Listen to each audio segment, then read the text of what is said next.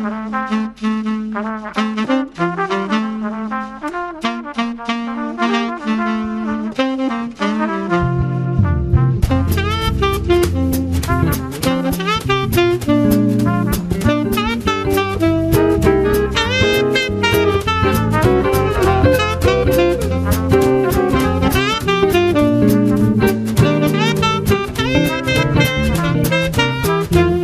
Dalocskát ebben a formában nem hallotta még a nagy közönség. És ha a jazz quartet hangzására gondolunk, bizony az élet átalakította azt is az évek alatt, így hát ez az új összeállítású csapat úgy gondolta, Covid ide vagy oda, követve a jazzzenekarok szokásos receptjét, feldolgoztak néhány ismert karácsonyi dalt a magukat a lehetőségek között. Egy kis kritikával illetem most zárójelben a, a kedves régi barátaimat, akik sajnos elmentek, mert ugyan mindenkinek a végrendeletében benne volt az, hogy folytassátok, folytassál, folytat, igen, folytatjuk, a Pista is úgy ment el, hogy mindenki folytassuk, és én meg is ígértem neki, hogy folytatjuk, de arról senki nem gondoskodott, hogy kikkel. Úgyhogy én most csak azt akarom ezzel mondani, hogy nagyot változott a világ. Manapság sokkal nehezebb olyan embereket találni, akik hajlandók arra, amit például mi is csinálunk.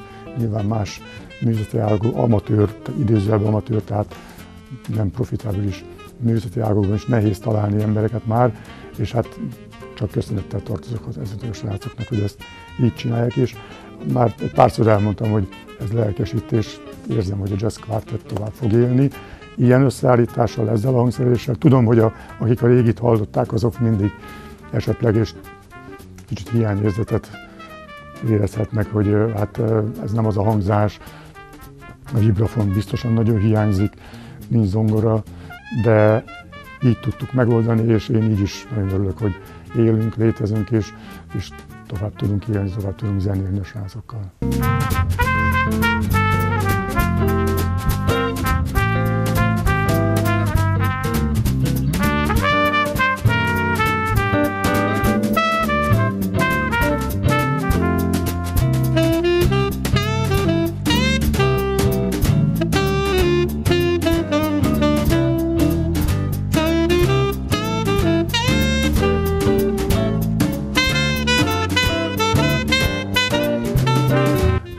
Látni sok koncertet, ahol, ahol hasonlóképpen átdolgozzák kis együttestől kezdve big bandekig lehet hallani.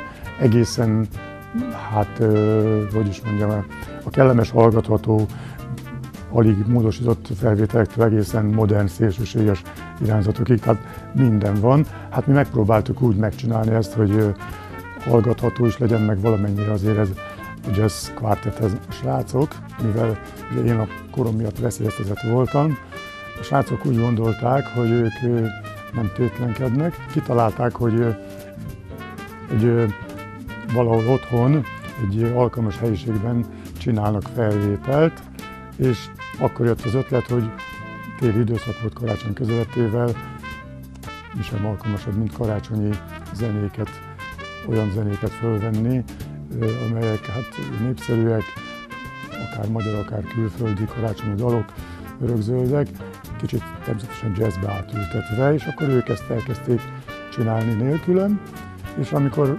megcsinálták a felvételeket, akkor mindannyian megállapodtunk abban, hogy ez egy nagyon klassz dolog volt, nagyon jól szól, mindenki folytatni kéne, és hát a, ugye a, a kényszer az az volt, hogy akkor nem volt más lehetőség. A folytatás ez már tudatos volt, hát miután én kimaradtam a dologból, mindenképp úgy gondoltuk, hogy meg kéne csinálni közösen ezt, és akkor erre most került sor. Most itt a stúdióban adott volt ugye a hangtechnika. Most fölvettünk itt közösen négy számot, négy olyan örökzöldek karácsonyi dalt, amit gondolom mindenki ismer, kicsit ugye jazzesítve, kicsit jazz kvártosítva, kvártettesítve.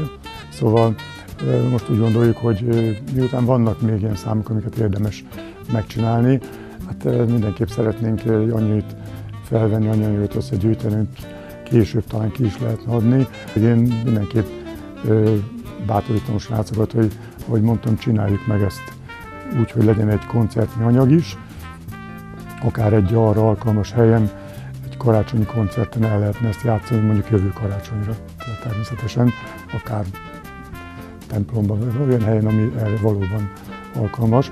Ha erre van igény, akkor mi biztosan szívesen vállaljuk ezt.